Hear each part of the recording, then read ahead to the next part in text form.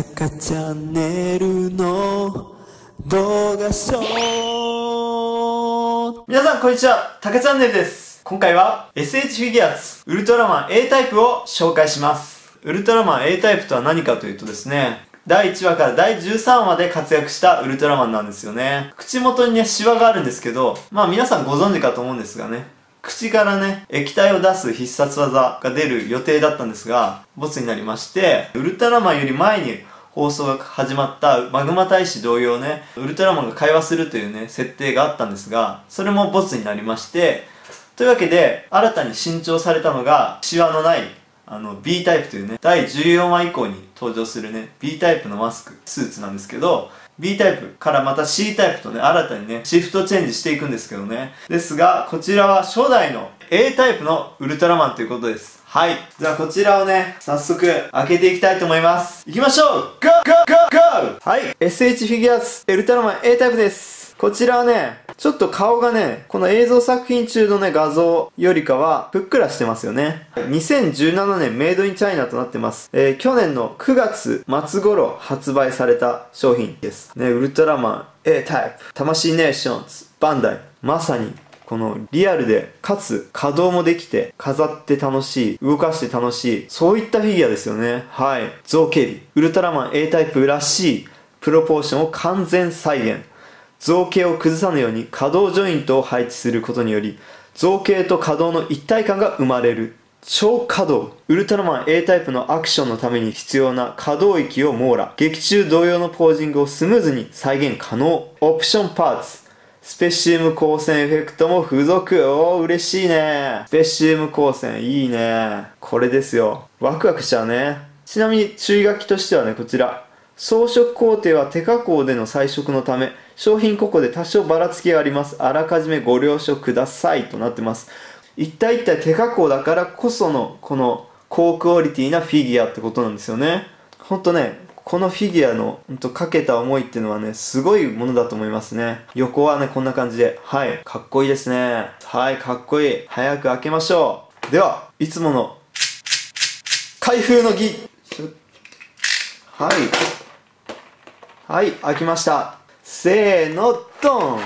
おー。いいね。ほんと、ウルトラマン好きにはほんとたまらないフィギュアですね。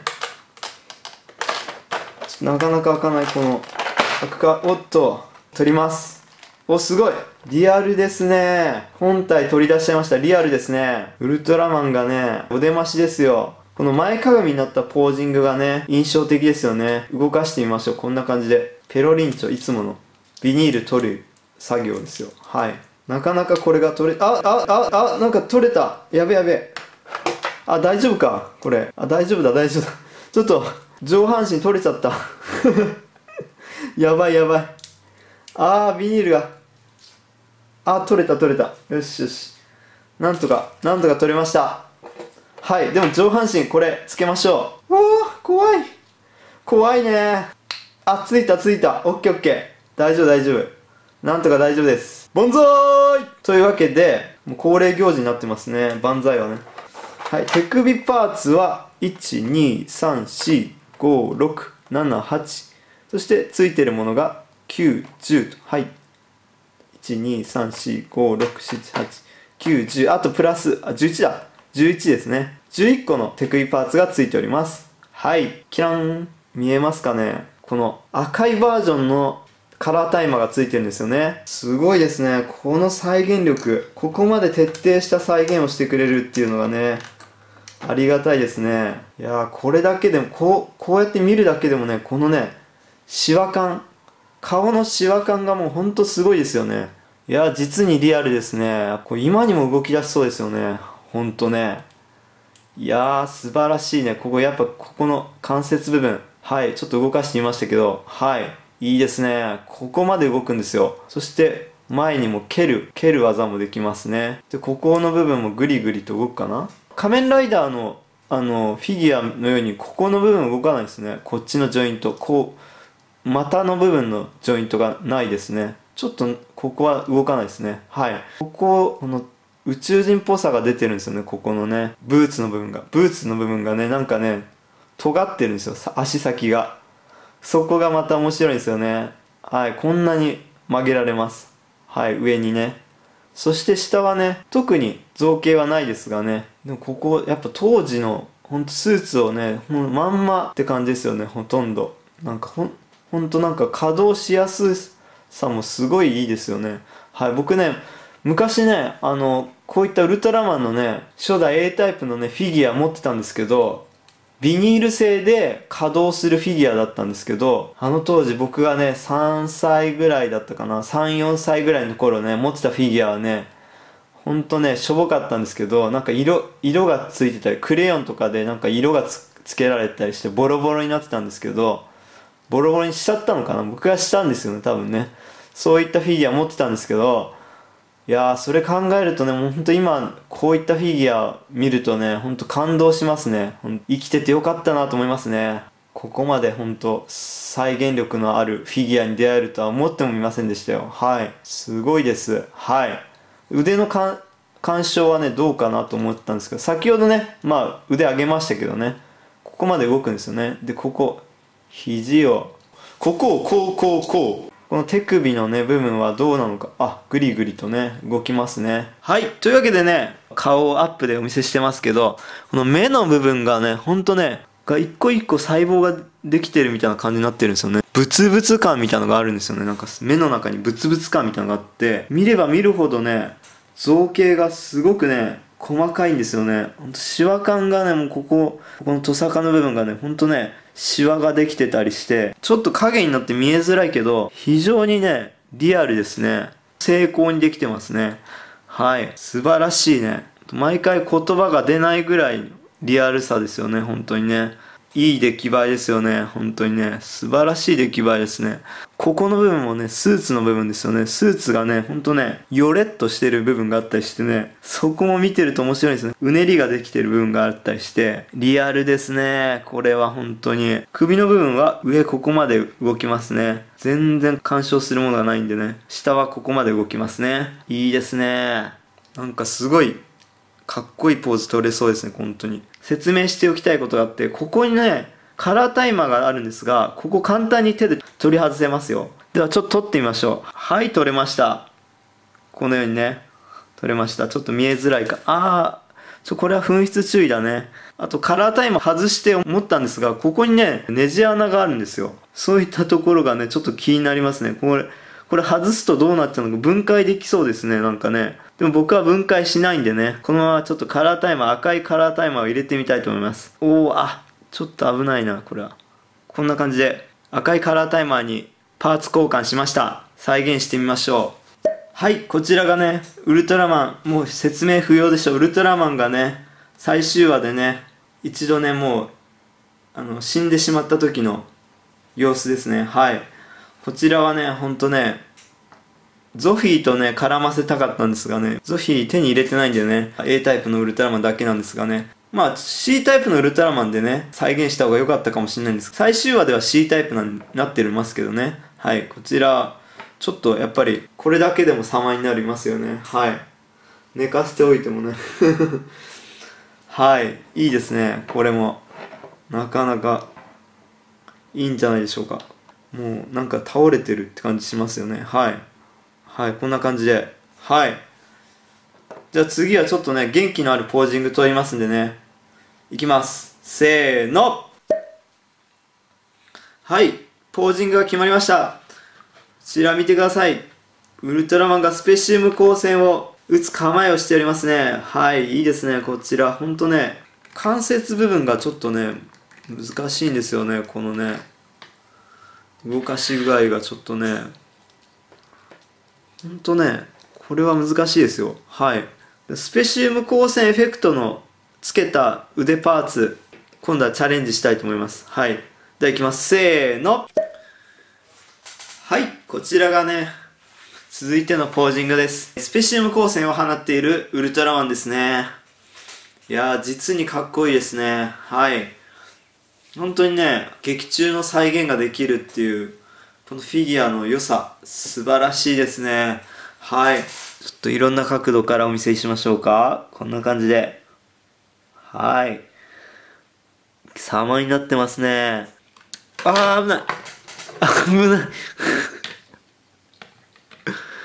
危ない危ないこれはねほんとね素晴らしいですね本当にただねちょっとねよく見ていただきたいんですがこちらねちょっとね赤くねなんか塗装のハゲなのかあのわかんないんですけどちょっと赤くね塗装がねここに赤いのがついちゃってるんですよねこの塗装が。ちょっとズームでお見せしましょうか。どうですかね？見えますかね？ちょっと塗装のここここなんですよここ。ここは赤いところあるんですよねなぜか。ちょっとここが気になるなと思ってね。ちょっと気になってますね。はい。ちょっとこれは悔しいですね。ちょっとね。このね質感がねこのシワの質感みたいなのが銀色のマスクの部分がねあのシワシワっぽいものがいっぱいついてるんでそこがねまた味があるんですよね。本当に。素晴らしいですよ本当。うん。アップでちょっとお見せしたいな。はいアップにしてますが冒頭でお伝えしましたがあのパッケージとねパッケージの実物の写真とシュッとしてる感じが違うなっていうのがあったんですが実際見るとやっぱりなんかこちらもシュッとしてるなって感じしますね。ここここのシワのところ。すごいここまでこだわってんですよね。はい。で口があって唇みたいなとこもあるんですよ。はい。口がちゃんとあるんですよね。喋り出しそうな感じしますね。はい。まあ第1話でね喋ってましたもんね。でも口は動いてなかったけど喋ってはいましたよね。はい。第1話でね。早田隊員を死なせてしまってねその時に喋ってましたよね。はい。かっこいいっすね。こいいわいやー素晴らしいね。素晴らしい。このやっぱフィギュアはねやっぱウルトラマン系はねやっぱ集めたいなと思いますね絶対。もうウルトラマン系と仮面ライダー系。全部集めていきたい。全部ではないけど全部はちょっと言い過ぎですけどフィギュアーツはちょっと今後ウルトラマン系仮面ライダー系201 5年以降のやつは集めていきたいなと思いますね。はい。いいですね。すごいね。かっこいい。引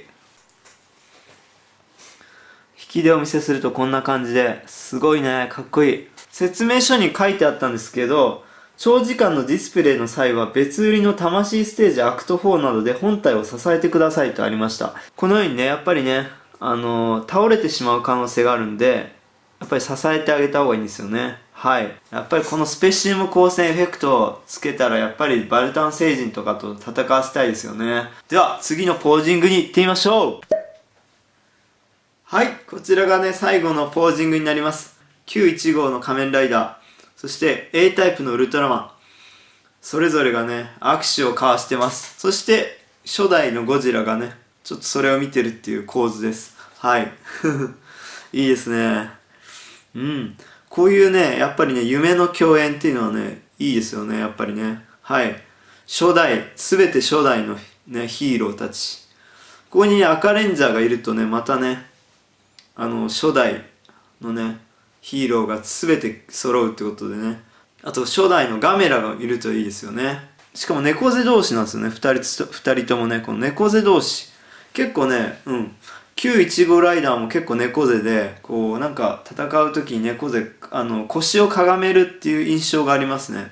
猫背ではないか。猫背じゃないけど猫背じゃないけどなんか腰をかがめてる印象が結構強いですね。915ライダーはね。ウルトラマンは腰をかがめるけど猫背なんですよね。結構ね。猫背で戦うっていう印象が強いですね。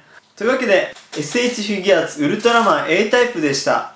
はいいかがでしたでしょうか？よろしければチャンネル登録そして評価コメントお待ちしております定期でありますが動画を更新していきますんでねよろしくお願いしますというわけで次回もまた見てくださいねグッバイ